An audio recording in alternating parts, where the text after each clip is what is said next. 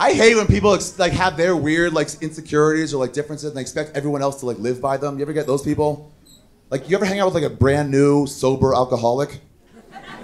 yeah, they're horrible to hang out with. Don't get me wrong. If you're an Alcoholics Anonymous, you should have been there like four years ago.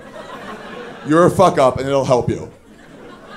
But I don't have a problem. Just you. Those first couple weeks, they see you having a beer with dinner, and they're like, "Really, really? You're gonna have a beer with dinner? Do you need it? Don't you think that means you have a problem?" And you're like, "If my problem is that I'm thirsty, then yes." Otherwise, please remember that you're the alcoholic, not me. I might have a bunch of beers tonight. You know what I'm not gonna do tomorrow? Have a bunch of beers, okay? I'm not a fucking alcoholic.